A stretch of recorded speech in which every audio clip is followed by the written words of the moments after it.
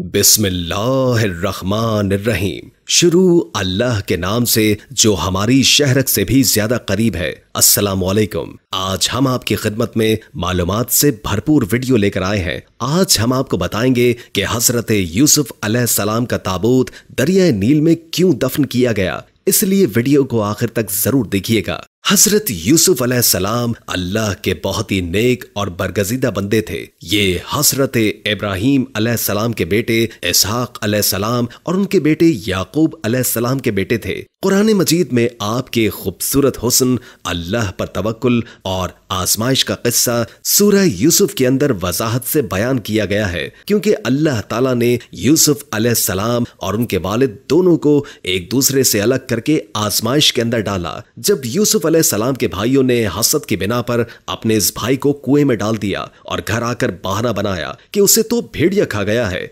यूसुफ सलाम उस अंधे कुएँ के अंदर बे यारो मददगार होने से लेकर अपनी पूरी ज़िंदगी अल्लाह की तरफ़ से दी गई आजमाइशों के अंदर कामयाब होकर आपने हर मौके पर सिर्फ़ अल्लाह पर तवक्ल किया और तवक्ल के बारे में अल्लाह ने आपको ऐसी आजमाइशों में डाला जो कोई सोच भी नहीं सकता। आपको अपने वालिद से दूर किया, जो कि आपको अपनी जान से भी ज़्यादा प्यार किया करते थे, और इस कुएँ से निकालकर आपको मिस्र के बाज़ार के अंदर गुलाम के तौर पर बिकवा दिया। सिर्फ़ इसलिए कि आप मिस्र परस्त कौम को अल्लाह का पैगाम पहुंचाकर उसे एक यकता परस्त कौम बनाना था। वहाँ से यूसुफ सलाम अज़ीज़ मिस्र के महल के अंदर पहुँचे। वहीं पर जब जवान होकर बड़े हुए तो अज़ीज़ मिस्र की बीवी ने नाजायज ख्वाहिशात पूरा करने का इल्ज़ाम लगाकर आपको जेल के अंदर दिया। और इस जेल में आपकी जवानी के कीमती 25 साल जाया कर दिए। मगर आखिर में सब्र और अल्लाह पर तवक्ल करके आखिरकार आप हर जगह से सुरखरू होकर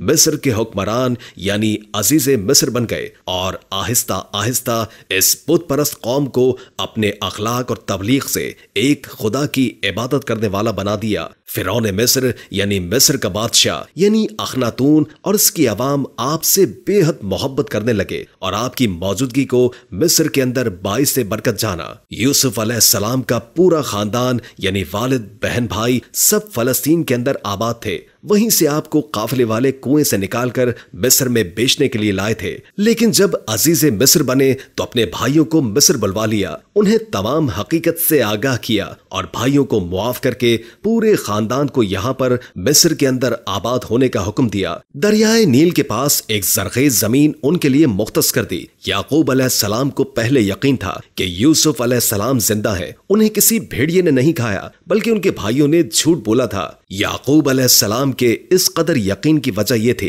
कि यूसुफ सलाम ने ख्वाब के अंदर सूरज चाँद सितारों को खुद सजदा करते हुए देखा था, जिसका मतलब था कि आपके बाकी तमाम भाइयों को छोड़कर सिर्फ़ आपको नबूत मिलने वाली थी और अपने ख्वाब का ज़िक्र सिर्फ़ और सिर्फ़ यूसुफ सलाम ने अपने वालिद याकूब सलाम से किया था, जिन्होंने आपको मना किया था कि अपने भाइयों से इसका ज़िक्र बिल्कुल मत करना, क्योंकि वो तो पहले ही आपसे हसद किया करते थे। इसको सुनने के बाद तो आपकी जान के दुश्मन ही बन जाते। इसलिए याकूब सलाम ये बात जानते थे कि उनका बेटा नबुअत का फ़र्ज़ निभाए बगैर दुनिया से नहीं जा सकता। लिहाजा वो अपना एक अलग हुजरा बनाकर यूसुफ सलाम की जुदाई में रोते रहे। यहाँ तक कि उनकी आँखें सफ़ेद हो गईं और उनकी आँखों की बीनाई चली गई। यूसुफ सलाम ने जब अपने भाइयों को भेजा कि पूरे खानदान को यहाँ पर मिस्र लेकर आए तो अपना कुर्ता भी भेजा, जो कि उन्होंने बचपन में पहना था। जब उन्हें मिस्र गुलाम बनाकर लाया गया था और हुक्म दिया था कि इसको मेरे बाबा की आँखों से मस करना,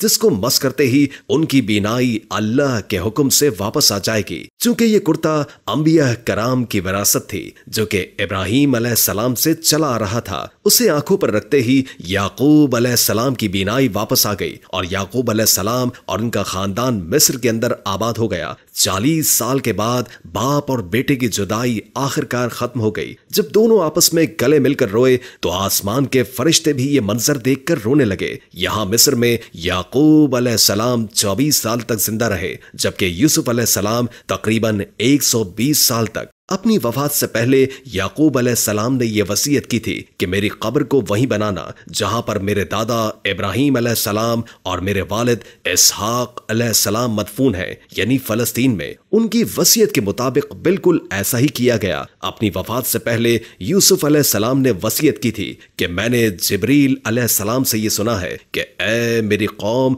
बनी इसराइल दोबारा से अपने वतन की तरफ़ हिजरत करेगी। लिहाजा जब वक्त आए तो मेरी मैयत को मेरे दादा और मेरे वालिद के पहलू में दफन कर देना। अपनी कौम के लोगों से बाकायदा इसका वादा लिया था। मगर जब यूसुफ सलाम की वफात हुई तो मिस्र के लोग, क्योंकि आपसे बेपना मोहब्बत करते थे, लिहाजा ये मसला खड़ा हो गया कि आपकी तदफीन कहाँ पर की जाए, क्योंकि हर शख्स ये चाहता था कि उसके इलाके के अंदर आपकी कब्र मुबारक मौजूद हो, ताकि वहाँ पर हमेशा बरकत रहे। लिहाजा इख्तलाफ से बचने के लिए यह फैसला किया गया कि आपको किसी खुशकी पर नहीं, बल्कि दरियाए नील के बीचों बीच मदफून कर दिया जाए, ताकि जब उसका पानी आपकी कब्र मुबारक को छू कर गुजरे तो पूरे मिस्र के लिए बरकत लेकर आए। लिहाजा संगे मरमर का ताबूत बनाकर आपको नील के बीचों बीच एक तहखाने की जगह पर मदफून कर दिया गया, जिसके ऊपर से दरियाए नील का पानी गुजरता था।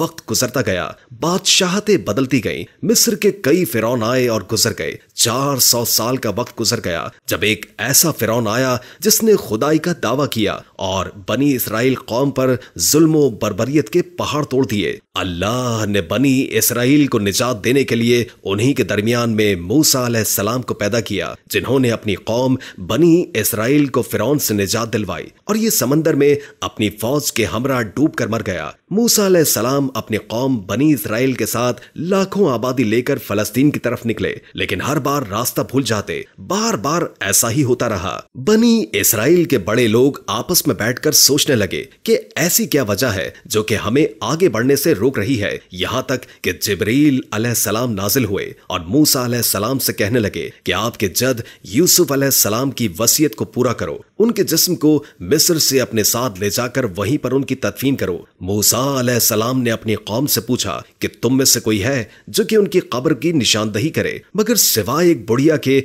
वो जगह किसी को भी मालूम न थी। लेकिन उस बुढ़िया की एक शर्त थी कि मैं सिर्फ़ मूसा सलाम को बताऊँगी। वो भी एक शर्त पर, और इस बुढ़िया का वाकया बहुत दिलचस्प है, जिसका ज़िक्र रसूल खुदा सल्लल्लाहु अलैहि वसल्लम ने फरमाया था। एक रोज आप सल्लल्लाहु अलैहि वसल्लम की एक शख्स ने दावत की और आप वहाँ पर तशरीफ़ ले गए और उसकी मेहमान नवाजी से आप इस कदर खुश हुए कि फरमाने लगे कि, ऐ शख्स, क्या मांगते हो? उस शख्स ने कहा, अल्लाह के रसूल सिर्फ़ एक ऊँट और बस एक बकरी चाहिए। आप सल्लल्लाहु वसल्लम ने सुनकर फरमाया कि बस इतना ही। तुझसे अच्छी तो वो बुढ़िया रही थी, जिसने मूसा सलाम से जन्नत में उनका पड़ोस मांग लिया था, और ये वही बुढ़िया थी, जिसने मूसा सलाम से ये शर्त रखी थी कि मैं यूसुफ सलाम की कब्र का पता सिर्फ़ उस वक्त आपको दूँगी, जब आप मेरी ये बात मानेंगे कि जन्नत के अंदर मैं आपकी पड़ोसन होंगी। मूसा सलाम ने वक्ती तौर पर यह सुनकर नागवारी महसूस की, लेकिन अल्लाह की तरफ़ से वही आई कि आप इसकी बात को मान लें। लिहाजा ये बुढ़िया आपको लेकर एक तालाब पर पहुँची और कहा कि इसका पानी खुश्क करो, और जब पानी खुश्क किया गया तो यूसुफ सलाम का ताबूत ज़ाहिर हो गया जिसे लेकर यह कौम अपने आबाई वतन की तरफ़ बढ़ी और पूरे 400 साल के बाद आपके वालिद और उनके दादा के पहलू में दफन किया। मिस्र में इस्लाम, यूसुफ सलाम की बरकतें उनके सब्र और कुर्बानी की वजह से आया था जो कि आज तक कायम है। अल्लाह ताला ने हमें कुरान के अंदर यह किस्सा बयान करके सबक दिया है कि चाहे जो कुछ भी हो जाए, हालात तुम्हारे कितने ही खिलाफ क्यों ना हो, मगर अल्लाह पर भरोसा कभी न छोड़ना, किसी के भी आगे मदद के लिए न झुकना, सिवाय अल्लाह के, क्योंकि अगर अल्लाह की जात आपके साथ है तो दुनिया की कोई ताकत आपका कुछ भी नहीं बिगाड़ सकती, क्योंकि दुनिया और कायनात के सब निज़ाम सिर्फ़ उसी के इख्तियार में है। अल्लाह ताला हमें समझने और अमल करने की तौफीक अता फरमाए।